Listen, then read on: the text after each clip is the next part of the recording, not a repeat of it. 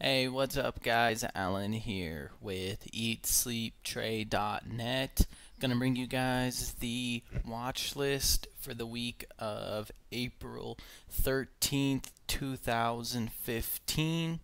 Finally getting settled into the new place and gonna try to get back on a routine to getting these updates coming more often. So thanks for tuning in tonight. Sit tight for just another second and we will be right back.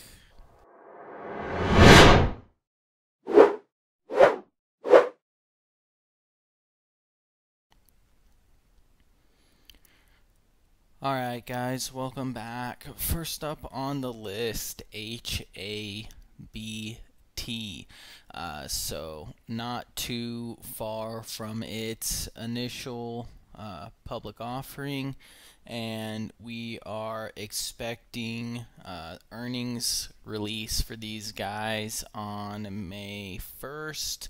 Uh, expecting a increase by 12% in sales with revenues of 54 million. Uh, so looking pretty positive. We've got this large uh, wedge forming here. You can see on the blue lines. And I really want to see this thing continue to consolidate and hopefully get a nice breakout uh, of this large wedge on Thursday uh, we put a double bottom in right here, right at 3050. Uh, so that area is showing as a nice area of support for Thursday and Friday. Um, if we hold above that 3050 area, um, that could show us a little bit of strength. We also want to try to get a close above this 50 period. Uh, you can see the last three days we've failed to get that close above. Uh, so definitely got some resistance there on the 50 period.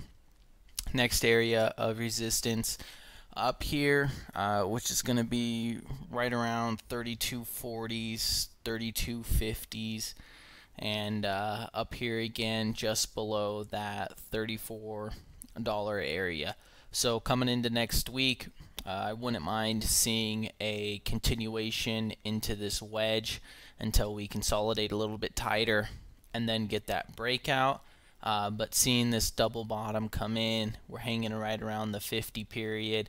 Uh, we could see uh, a nice breakout prior to consolidating all the way down into this wedge. Uh, we had huge volume, relative volume on Friday as well.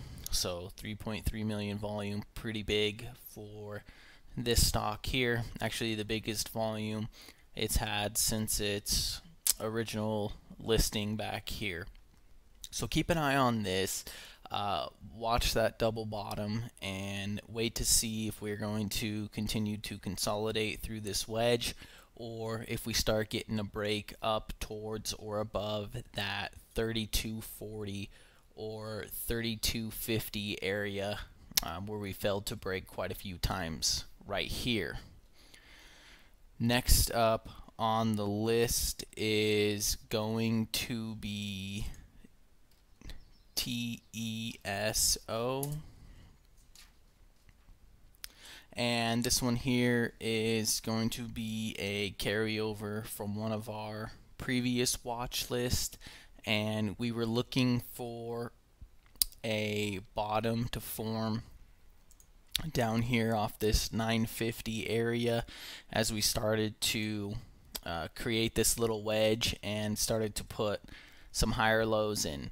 So now you could see since that time we've broken out of that wedge, managed to get above the 50 period simple moving average, which is something that uh, we haven't been above in quite some time, and managed to uh, turn that 50 period moving average uh, into support and hold above it nicely and want to see this thing test uh, $12 finally next week.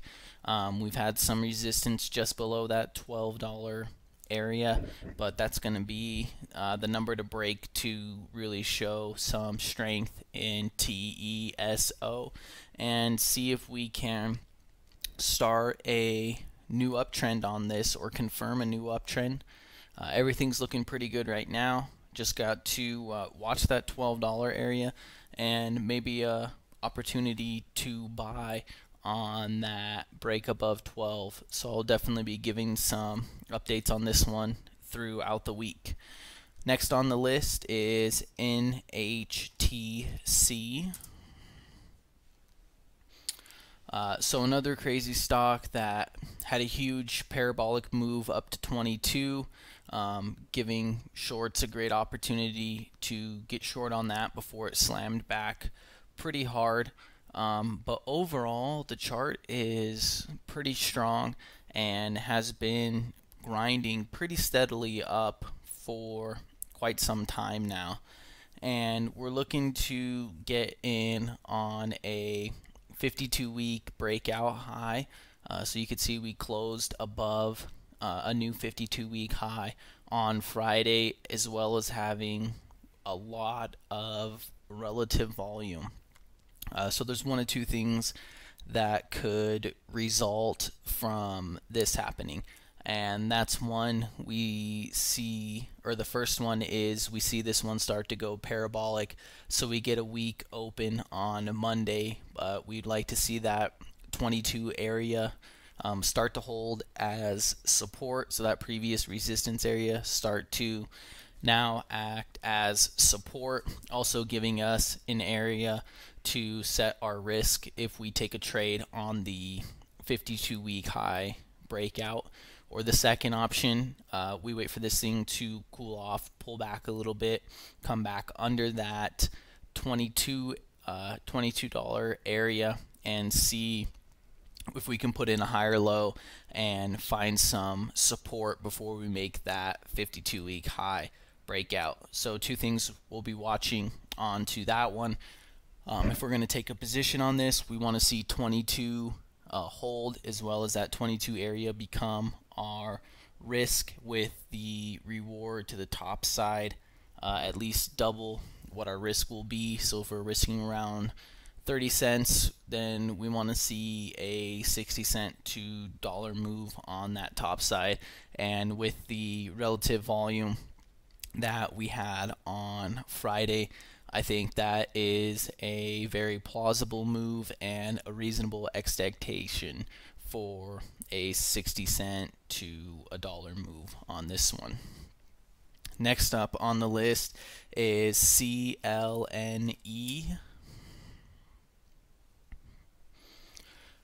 So this chart looks pretty good. I've been watching it. Um, for a little bit now, waiting for it to also put in its bottom.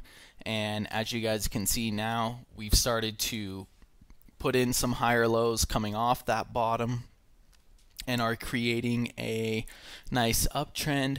We're back above the 50 days simple moving average and it is holding as support right now along with our uptrend. Uh, so we want to see this 540 area here continue to act as support and hold as well as see if we can't get that breakout above six dollars um, which has been a double area of resistance for us now. Uh, so definitely time to get the breakout above that six dollar range. If we don't see that uh, break above six dollars look for entry point around that 540s uh, if it pulls back a little bit and starts to hold that. We've got a lot of support on this one. You've got support at your 50 day, support at your uptrend, as well as support in this 540 area. Uh, so if this does pull back, any of these areas are going to be great entry spots with a good defined risk reward uh, in the anticipation that we can get back up to six and possibly see that $6 break higher.